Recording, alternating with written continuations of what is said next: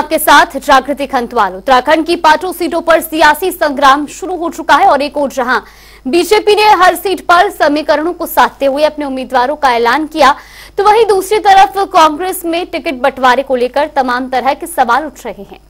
दरअसल प्रदेश अध्यक्ष करण महारा खुद हरिद्वार सीट से टिकट मांग रहे थे, लेकिन उनकी जगह हरीश रावत के बेटे वीरेंद्र रावत को टिकट दे दिया गया। इतना ही नहीं, नैनीताल से करण महारा मनीष खंडूरी को टिकट देने के पक्ष में थे, लेकिन एक बार फिर उनकी पसंद को नजरअंदाज करते हुए दिल्ली कोटे से प्रकाश जोशी को टिकट दे दिया गया जिसे नाराज़ होकर मनीष खंडूरी कांग्रेस का दामन छोड़ बीजेपी में शामिल हो गए। प्रदेश कांग्रेस में इस्तीफे लगातार जारी हैं। ऐसे में अब ये सवाल उठ रहे हैं कि टिकट का बंटवारा करते हुए कांग्रेस कहीं खुद को ही ना बांट ले। साथ ही सवाल ये भी कि उत्तराखंड कांग्रेस में चल रही ये खींचतान, आखिर आगामी चुनावों में कांग्रेस की नैया कैसे पार लगा पाती है? देखिए, भारतीय जनता पार्टी किस आधार पर इस प्रकार के दावे कर रही है? बेरोजगारों को रोज़गार दिया नहीं, बेरोजगार अगर शांतिपूर्ण तरीके से आंदोलन कर रहे थे, तब भी आपने उनको लाठी डंडों से पीटने का काम किया। अभी भी पेपर लीक प्रकरण में प्रदेश के बेरोजगार सीबीआई जाँच की मांग को लेकर के धरने पे बैठे हुए हैं। तो किस आधार पर प्रदेश का बेरोजगार भाजपा को वोट देगा? अग्निवीर योजना ला करके आपने प्रदेश के बेरोजगारों के सपनों को चकनाचूर करने का काम किया। गढ़वाल रेजिमेंट और कुमाऊं रेजिमेंट का घर है हमारा उत्तराखंड। मोदी जब भी उत्तराखंड आए, उन्होंने कहा कि यहाँ सैनिक धाम है, पांचवा धाम है, और उसी को आपने जो है तार तार करने का काम किया अग्निपथ योजना ला करके। आप चार साल का अग्निवीर जो है नौजवान को बनाना चाहते हैं, जो बनना नहीं चाहता, उसका वो विरोध कर रहा है। आप ऐसी जो है युवा विरोधी, सेना विरोधी नीति को वापस क्यों नहीं ले रहे हैं? तो प्रदेश का बेरोजगार नौजवान भाजपा के बहकाव में बिल्कुल नहीं आने वाला वो सड़क पे उतर के लाठी खा रहा है डंडे खा रहा है मुकदमे झेल रहा है और भाजपा फिर भी कह रही है कि जो है युवा उसके साथ है। तो ये बड़ा ही आश्चर्यजनक और हास्यास्पद सा जो है भाजपा का दावा है और जब प्रदेश में मतदान होगा और उसके रिज़ल्ट आएँगे तो निश्चित तौर पर भाजपा के इस दावे की हवा अपना आप निकल जाएगी। देखिए वैसे तो निर्णय जब लोकसभा के आएँगे तो इससे सिद्ध होगा कि क्या है। मैं अपनी बात कहूँगा तो अपने पक्ष में कहूँगा, दूसरा अपने पक्ष में कहेगा। लेकिन सही बात यह है कि भारतीय जनता पार्टी इस समय ज़्यादातर युवा और महिलाओं के बल पर मजबूती के साथ खड़ी है ये दोनों वर्ग जो है, भारतीय जनता पार्टी को मज़बूत करने में तो वहीं इस पूरी खबर पर आज चर्चा करने के लिए हमारे साथ हमारे मेहमान भी जुट चुके हैं। कांग्रेस प्रवक्ता तुषार हमारे साथ चुके हैं, साथ ही भाजपा प्रवक्ता रविंद्र कुमार जी हमारे साथ जुड़ गए इसके अलावा उत्तराखंड क्रांति दल के केंद्रीय मीडिया प्रभारी अनिल थपरियाल जी हमारे साथ जुड़ गए आप तीनों मेहमानों का बहुत बहुत स्वागत है जनता टीवी पर। एक तरफ़ जहाँ खींचतान का दौर लगातार जारी है कांग्रेस में कई इस्तीफे भी इस दौरान देखने को मिले लेकिन पाँच सीटें पचपन प्रत्याशी मैदान में हैं और अब सब अपनी अपनी दावेदारी कर रहे हैं। लेकिन किस तरीके से हर सीट पर तैयारी हो रही है आ, सबसे पहले आपसे जानना चाहेंगे रविंद्र कुमार जी कितनी तैयारी है? पाँचों सीटों पर प्रत्याशी अपनी पूरी तैयारी में जुटे हुए हैं लेकिन दावा तो अन्य पार्टी भी कर रही है। हमारी तैयारी हमारे कार्य हमारे जो वादे किए थे, उन पे तैयारी है माननीय नरेंद्र मोदी जी ने जिस प्रकार से देश की जनता को जो वादे किए थे, उन्हें पूरे किया है उसके आधार पे दावे हैं? माननीय धामी जी के नेतृत्व में जिस प्रकार से पिछले लगातार सात आठ सालों से हमारी यहाँ सरकार चल रही है उसके आधार पर दावे हैं। ये दावा हमारा निश्चित रूप से पूरा होगा कि हम प्रत्येक लोकसभा सीट को पाँच लाख के बड़े अंतर से जीत के माननीय नरेंद्र मोदी जी की विजयी माला में यहाँ से पाँच फूल हमारे उत्तराखंड से भी जाके उसमें गुथेंगे और हम जो है एक बार फिर मोदी सरकार बनाएँगे, तीसरी बार लगातार और 400 पार का जो नारा दिया इसे हम सरकार करके दिखाएँगे। अपने काम के बल पे, अपने संगठन के बल पे लोगों के विश्वास को जिस प्रकार से जीता है पिछले दस सालों में माननीय मोदी जी ने, उसके दम पे। ठीक। हमारे साथ कांग्रेस युवा नेता कपिल तुषार कपिल शर्मा भी हैं। तुषार, आपसे भी जानना चाहेंगे। युवाओं के बीच में काफ़ी मुखर रहते हैं, लेकिन कांग्रेस के अंदर काफ़ी खींचतान का दौर भी जारी है। कई साथियों ने इस दौरान कांग्रेस का हाथ भी छोड़ा है। और ऐसे में बीजेपी कह रही है कि 10 साल के जो काम है संगठन की जो मजबूती है और एकजुटता है, उसी के दम पर एक बार फिर से पाँचों सीटों पर इतिहास दोहराएँगे। प्रश्न किया पहले आपने इतना अच्छा प्रश्न कर दिया, इसी से भारतीय जनता पार्टी की स्थिति ज़ाहिर हो रही है। दस साल में इन्होंने इतना अच्छा विकास किया कि हरिद्वार से पूर्व मुख्यमंत्री निशंक जी को टिकट काटकर अब चार साल के मुख्यमंत्री, जिन्हें मुख्यमंत्री का कार्यकाल भी पूरा नहीं करने दिया, ऐसे प्रत्याशी को लाकर हरिद्वार की जनता के बीच रख दिया वहीं दूसरी ओर बलूनी जी, पूरा भाजपा तंत्र, जिसे मैं कहूँगा, एक तरफ़ स्मृति ईरानी अभी आई आपने देखा होगा, जब पत्रकारों ने उनसे सवाल किया तो उन्होंने कहा, मुझे धक्का मत। अब ये समय आ चुका है कि उत्तराखंड की जनता और उत्तराखंड के समस्त नागरिक जो सड़कों पर थे पाँच वर्षों से, चाहे वो राज्य सरकार हो और चाहे इनके दस वर्षों से हरिद्वार की जनता हो, आज वो त्रस्त हो चुके हैं, आज वो पहचान चुके हैं इनका चेहरा। क्योंकि हर चीज़ पर इनका सिर्फ़ और सिर्फ़ एक नारा, मोदी जी मोदी जी मोदी जी। लेकिन ये नहीं समझ आता कि मोदी जी क्या हरिद्वार लोकसभा के लिए काम करने आएँगे, नैनीताल लोकसभा के लिए काम करने आएँगे, या पौड़ी गढ़वाल के लिए आएँगे तो ये जो स्थिति इन्होंने पैदा कर दी है, यहाँ पर झूठ बोल बोल कर पहले ये युवाओं पर लाठियाँ बरसाते हैं, फिर भर्ती परीक्षा घोटाला, फिर उसके बाद ये आ जाते हैं कि भैया, हमारे सबसे बेस्ट सीएम जो थे, वो निशंक जी थे और बेस्ट सांसद है। लेकिन आज उनकी स्थिति ये है कि वो आज चुनाव प्रचार ही छोड़ चुके हैं, पूरे हरिद्वार में कहीं दिखाई नहीं दे रहे। दूसरी तरफ़ घनसोला जी का जो जन फैला रहा उसे देखकर टीवी में समस्त जनता उनके साथ है। गणेश गोदियाल जी का क्या कहना? आप समझ सकते हैं कि इस समय भारतीय जनता पार्टी का जो डिमोशन है वो शुरू हो चुका है और ये उससे वाकिफ हैं। आज ये स्वयं की स्थिति को पहचान चुके हैं कि ये जनता के बीच में ज़ीरो है। रही कांग्रेस की बात, कांग्रेस अपने दम के साथ, चाहे वो हरिद्वार लोकसभा हो, चाहे वो नैनीताल लोकसभा हो, पौड़ी गढ़वाल हो टीडी हो, और चाहे पंता जी की लोकसभा हो हम लगातार जनता के बीच में और जनता का अपूर्ण समर्थन हमारे साथ है और निश्चित रूप से पाँच लोकसभाओं में हम चुनाव जीतेंगे। ठीक है। जनता का समर्थन है लेकिन अपने साथी कहीं ना कहीं साथ छोड़कर तो जा रहे हैं तुषार जी। चलिए लौटूँगी आपके पास। अनिल थपलियाल जी इस बार दो राष्ट्रीय पार्टियों को चुनौती देने के लिए आपने भी अपने प्रत्याशी मैदान में उतारे हैं। कितनी बड़ी चुनौती क्योंकि लोकसभा का चुनाव है तो मुद्दे भी कहीं ना कहीं राष्ट्रीय हैं। देखिए जागृति जी ये लोकतंत्र का पर्व है तो इसको चुनौती नहीं कह सकते हम। ये एक प्रतियोगिता है, और प्रतियोगिता में तो ये नहीं आका जा सकता है कौन बड़ा, कौन छोटा। ये एक राजनीतिक प्रतियोगिता है। सबसे बड़ी बात ये है कि हमारे लिए कोई चुनौती नहीं है। चुनौती चुनौती भारतीय जनता पार्टी के सामने हम बन चुके हैं। हम नहीं है चुनौ वो हम इनकी ये हमारी चुनौती नहीं है। ये कहीं ना कहीं घबराए हुए हैं। मैं इनके बता दूँ जितने प्रत्याशी इन्होंने अभी मैदान में उतारे हैं जी। उन प्रत्याशियों को ये भी पता नहीं है कि उत्तराखंड में कितने गाँव हैं कितने ब्लॉक हैं कितने उपखंड हैं कितने खंड हैं कितनी तहसील है और कितनी ग्राम सभाएँ हैं कितने नगर निगम है ये भी पता नहीं है।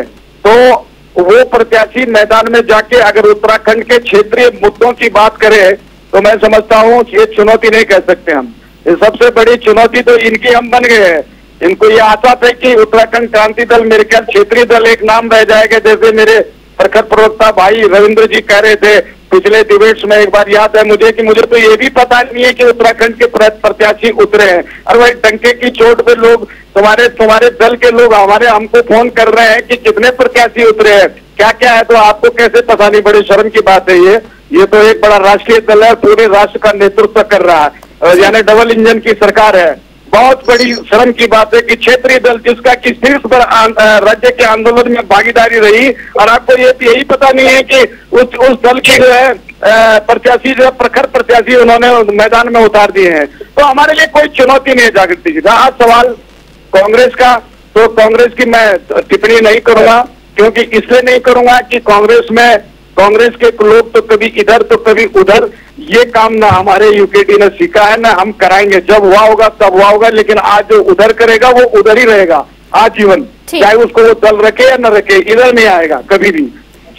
थर्ड थिंग तीसरी बात यह है कि हम जो क्षेत्रीय जब जब हम अपना कमर कस चुके हैं और ये लोकसभा चुनाव में राष्ट्रीय चुनाव है ये। इसमें हम ये तो नहीं कह सकते कि हम भारतीय जनता पार्टी या अन्य राष्ट्रीय दलों को हम वो क्या बोलते हैं, पाँचों सीटों पे दावेदारी, क्योंकि निर्णायक जनता है और जनता निर्णायक कार्य कार्य, जो कार्य हुए हैं, वर्तमान सरकार के कार्य हुए हैं, उनकी समीक्षाएँ जनता कर रही है। जब हम जनता के बीच में जा रहे हैं, हमारे कार्यकर्ता जनता के बीच में जा रहे हैं हमारे केंद्रीय अध्यक्ष से लेकर के हमारा छोटा सा छोटा कार्यकर्ता और हमारा प्रत्याशी हमारे प्रभारी हमारे ब्लॉक अध्यक्ष हमारे नगर अध्यक्ष हमारे जितने भी हैं जिला अध्यक्ष ये सारे के सारे एक प्रत्याशियों के उसमें लगे आप एक बात बहुत बड़ी मैं बोलने जा रहा हूँ। आप ये बताइए अगर इन्होंने युवा वर्ग के लिए इतना अच्छा काम किया होता तो क्या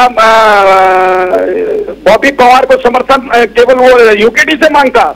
हमने उसको बॉबी पवार को अपने यहाँ ला करके समर्थन दिया। आशुतोष ने की जिसने अंकिता कांड को बढ़ चढ़ करके उठाया है उसको हमने अपने यहाँ ला करके प्रत्याशी बनाया है। तो निश्चित तौर पर युवा वर्ग हमारे साथ है तो अब आप समझ सकते हैं चुनौती कौन है। चुनौती ये है ये चुनौती हम है इनके लिए। तो ये एक बहुत बड़ा इस समय खेल होगा और ये न सोचें इनके पास दल संख्या बल संख्या धन संख्या सब कुछ है। लेकिन धन संख्या ही काम नहीं करती है ना बल संख्या काम करती है। मैं समझता हूँ कहीं ना कहीं क्षेत्र में एक पड़ोसी 20 साल से है और एक पड़ोसी कल आ जाए। तो मैं 20 आप किसको महत्व देंगे? 20 साल वाले को चाहे उस पर मुकदमे चले चाहे वो कुछ हो चाहे वो आपस में हमारी लड़ाई रही हो लेकिन वो 20 साल से रहेंगे। ऐसे हम स्थानीय जनता के लिए यूकेडी क्षेत्रीय दल काफ़ी पुराना दल है और राज्य के आंदोलन में पुनः कह रहा हूँ मैं शीर्ष पे हमने नेतृत्व किया एक समृद्ध राज्य के लिए। तो निश्चित तौर पे है कि हम अपेक्षा रखेंगे इस बार कहीं ना कहीं हम बीजेपी को मात देंगे। ठीक है। रविंद्र कुमार जी, कई सारे सवाल और कई सारे आरोप भी कांग्रेस की ओर से भी और यूकेडी की ओर से भी। यूकेडी का कहना है कि चुनौती हमारे लिए राष्ट्रीय पार्टियाँ नहीं है, हम बीजेपी के लिए एक चुनौती बनेंगे। कांग्रेस कहती है कि आपके हरिद्वार सीट के प्रत्याशी के नाम को लेकर के आप पे निशाना साध रही है। अब ऐसे में कैसे जनता का समर्थन मिलेगा? कांग्रेस तो कहती है, जनता हमारे साथ है। अभी कुछ दिन पहले राष्ट्रीय समाचार पत्र में कार्टून छपा था साइड में। उसमें था दो नेता खड़े हैं नेता जैसी ड्रेस लगा के टोपी वोपी लगा के तो एक लिस्ट देख रहे हैं और उसमें खुश होते हैं हाँ मेरा नाम नहीं आया मज़ा आ गया। उन्होंने कहा भाई क्या नाम नहीं आया? कह रहा कांग्रेस की तीसरी सूची जा रही मेरा नाम नहीं आया। उसने कहा भाई इसमें खुश होने की बात है उन्हें खुश होने की बात इसलिए कि मैं नहीं लड़ना चाहता तुम देखिए, हमारे यहाँ प्रत्याशियों की, नेताओं की कमी नहीं है। हम किसे टिकट देंगे, किसे नहीं देंगे, ये केंद्रीय नेतृत्व और हमारे जो कार्यकर्ता है, ये तय करते हैं। अब यहाँ पे ऐसा नहीं है कि मुझे दे दो या मेरे बेटे को दे दो, या बस यहीं से, यहीं तक की रहती है। मैंने देखा प्रीतम सिंह जी ने भी मना कर दिया था चुनाव लड़ने के लिए। गणेश गोदियाल जी ने भी बड़े भारी मन से स्वीकार किया था। कि भाई ठीक है, आप चुनाव में दे दिया मेरा मन नहीं था, चलो अब लड़ेंगे।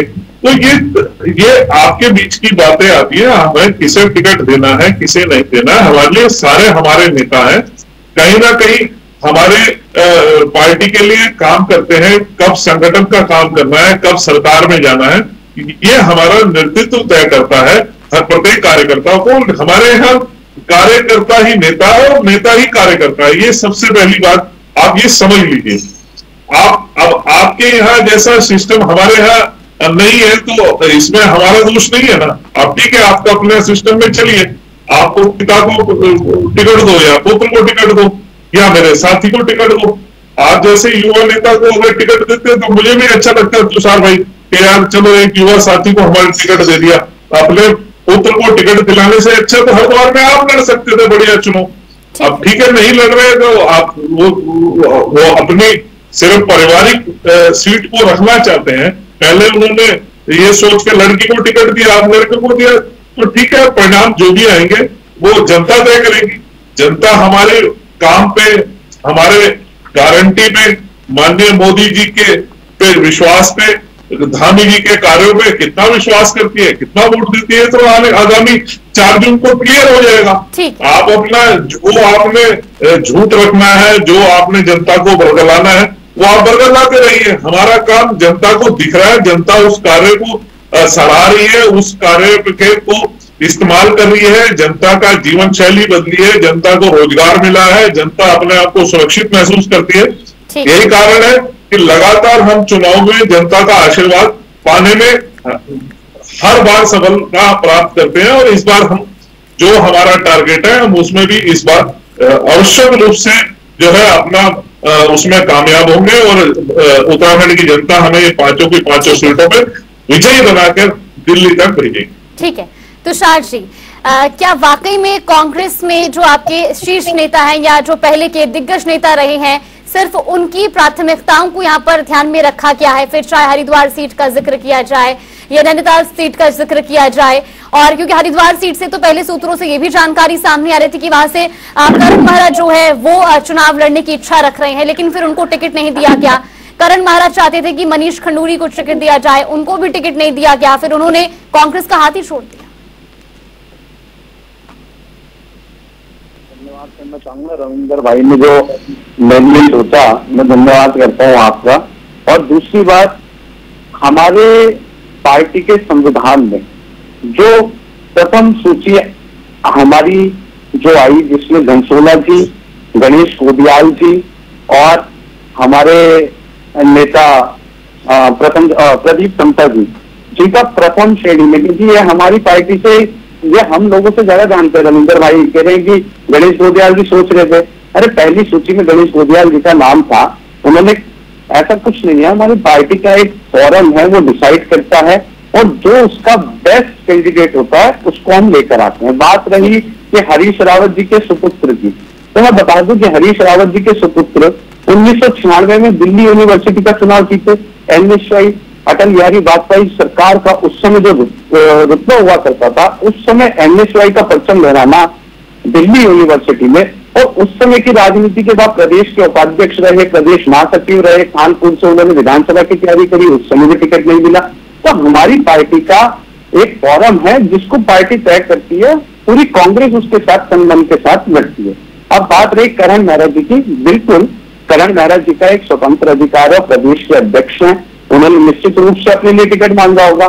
चाहे उन्होंने, चाहे नैनीताल में किसी के लिए सोचा हो, चाहे हरिद्वार में अपने लिए सोचा हो हमारे नेता करण मेहरा इस प्रदेश की उम्मीद है और उन्हीं की ऊर्जा के साथ पूरी कांग्रेस तन मन से उनके साथ खड़ी है। ऐसा नहीं है कहीं पे भी। आप पूरी कांग्रेस में देखेंगे, पूरे हरिद्वार में एक एक साथी एक एक विधायक, पाँच विधायक हमारे हैं, पाँचों विधायक वीरेंद्र रावत के साथ चल रहे हैं अपनी अपनी विधानसभा में कार्य कर रहे हैं। जहाँ हमारे विधायक नहीं है, वहाँ के जो विधायक कैंडिडेट रहे वो काम कर रहे हैं। और ऐसी कहीं पे भी अ, मैं कहना चाहूँगा कि चाहे नैनीताल हो प्रकाश जोशी जी का जो उत्साह जो उनके साथ विधानसभा विधानसभा के हमारे साथी चल रहे हैं ये देखने लायक है। और दूसरी तरफ़ है भारतीय जनता पार्टी जिनकी मैं बात बता रहा हूँ। अगर आप इनकी लोकसभा के मैंडेट को देखेंगे इनके जो पूर्व प्रत्याशी हैं या जो जीते हुए हैं वो इस समय जनता के बीच में जाने के लिए भी हिचकिचा रहे हैं।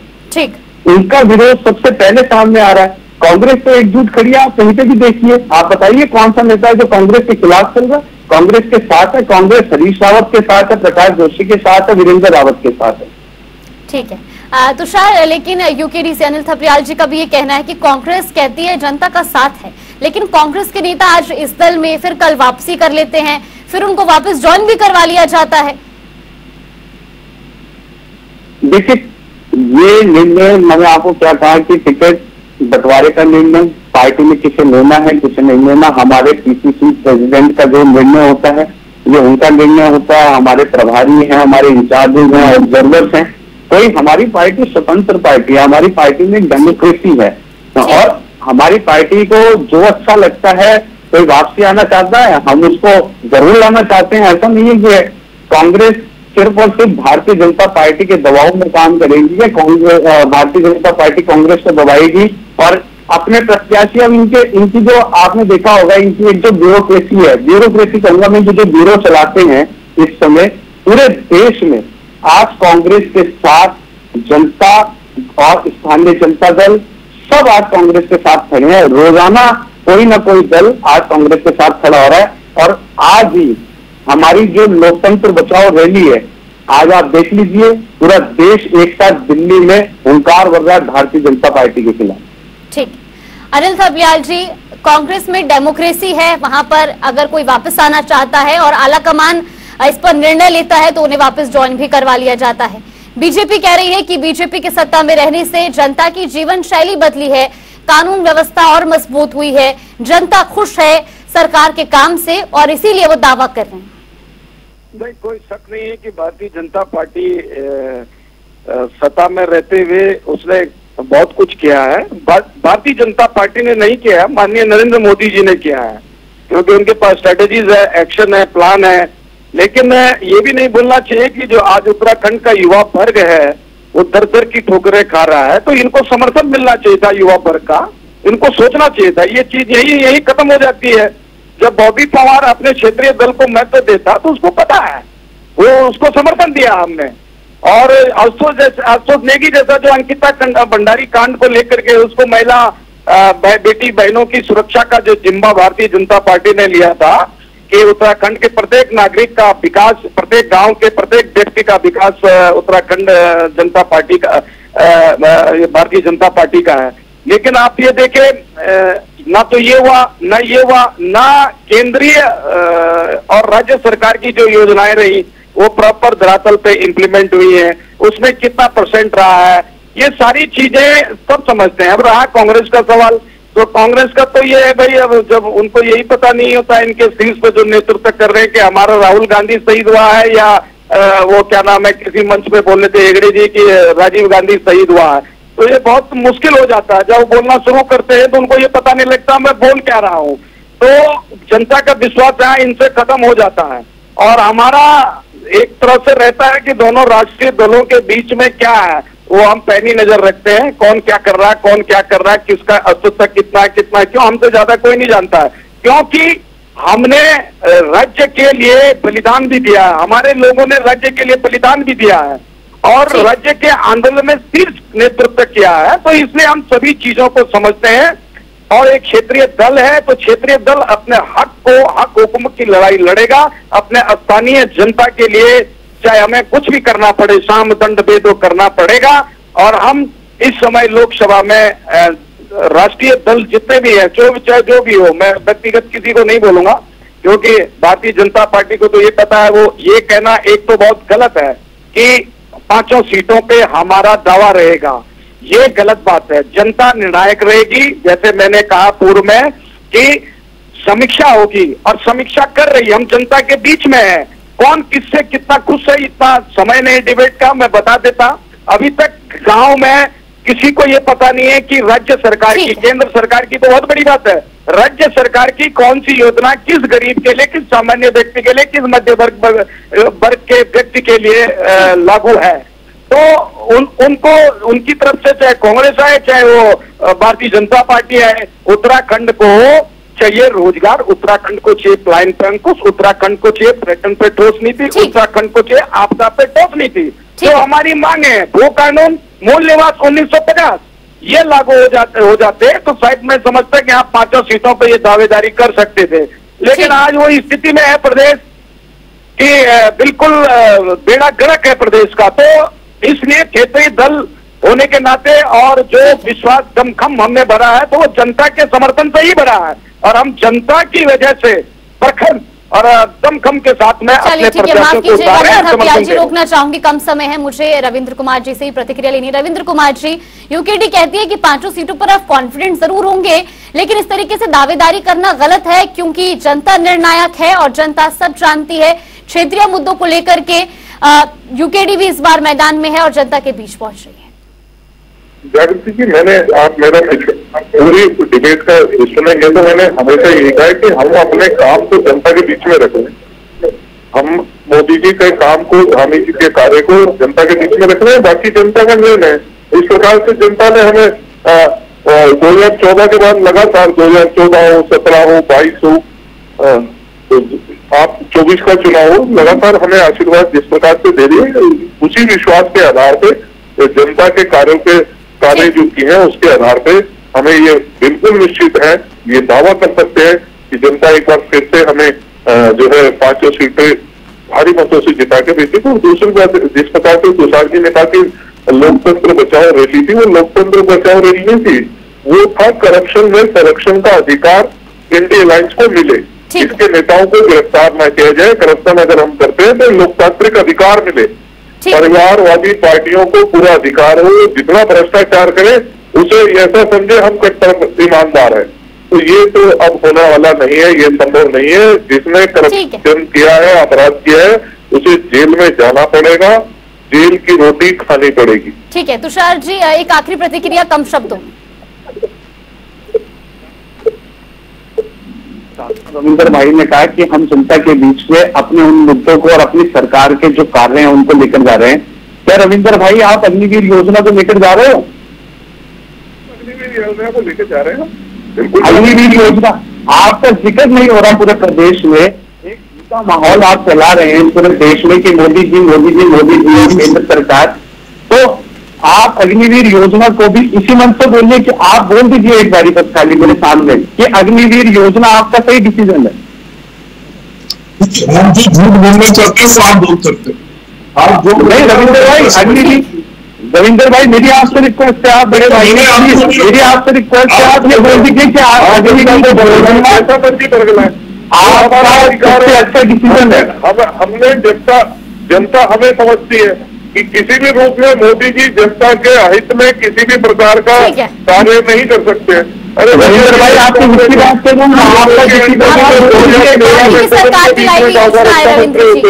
अग्निवीर योजना भारतीय जनता पार्टी की ओर से लाई गई है केंद्र सरकार ने इसे लागू किया था चलिए ठीक है। सही है।